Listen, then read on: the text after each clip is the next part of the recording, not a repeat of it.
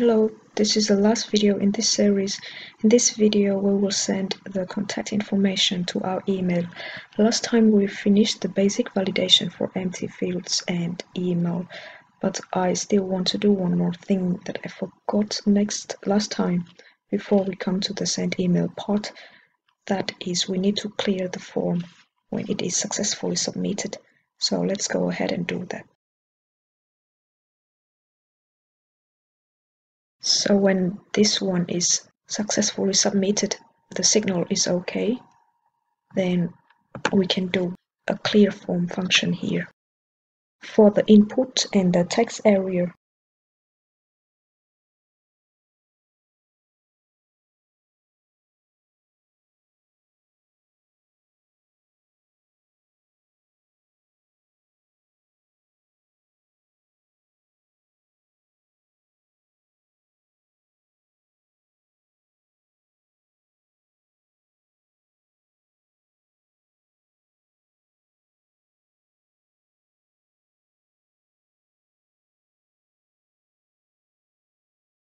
clear the forms together with the successful message.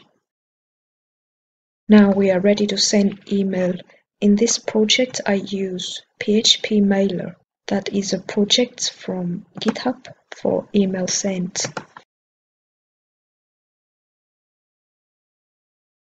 And you can find the GitHub page from Google. To start using it, we need to download it from the page.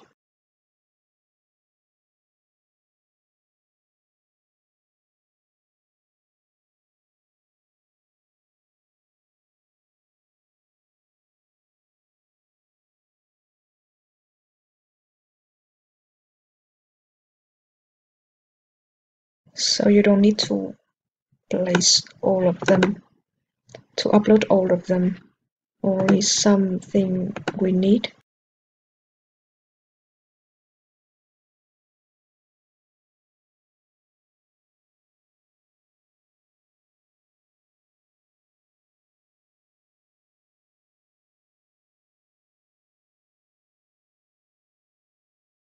then we need to include the PHP mailer autoload file in the sendmail.php.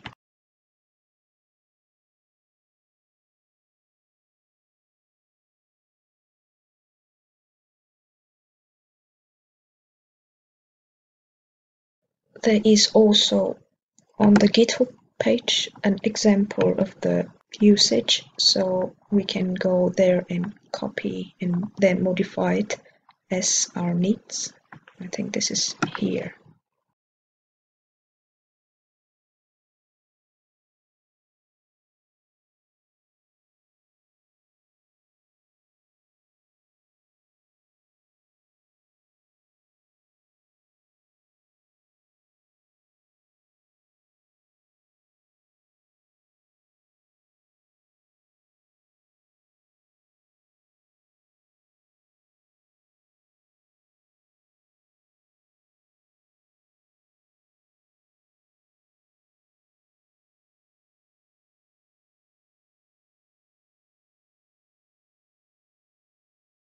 So we use SMTP to send email and I use my Google email address to send.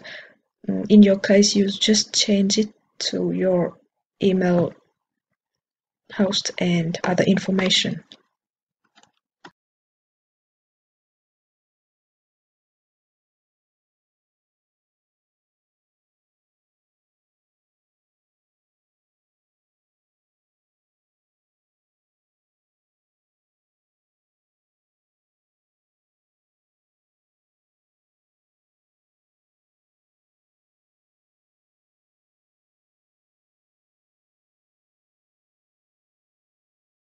The at address is the address of the recipient, as you can see from here. So I send it to my own address. So it may be a little bit confused here. Let's think it simply like I use my email address to send an email to my own email address, which contain the information of the contact form and reply to, after I receive the email, I need to reply to the email which is input in the form. And the name showing will be the name that people input in the form also. So the email is HTML, that means um, in the body, if you say something like BR, then it will make a line break like in HTML code.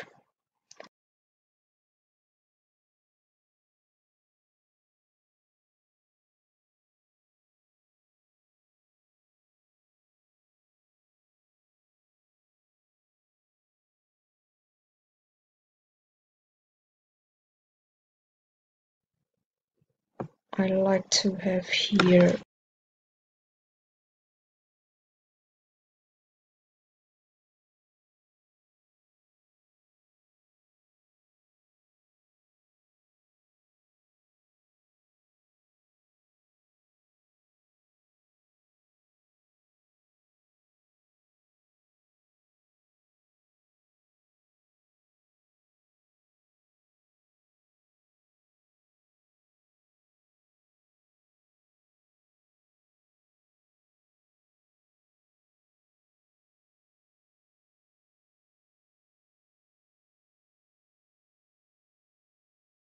send it so it says there is some error. Mailer errors smtp connect failed.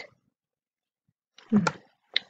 hello guys. I have been pausing the video for a while to find out the errors and it's it seems that i mistake this smtp address because the gmail smtp is smtp.gmail.com so it's not google.com and uh, maybe we also change the subject.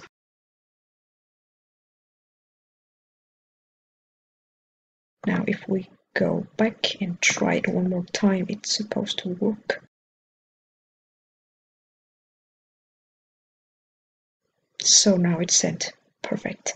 Let's come to my email address and check. So you can see that the form actually reached my email right now. The time is the same and what it says is name and then message and if I click the reply so it will take the add reply to it takes the email and the name of the sender here. So I'm afraid that is the end of this video and also this series. Thank you for watching and see you next time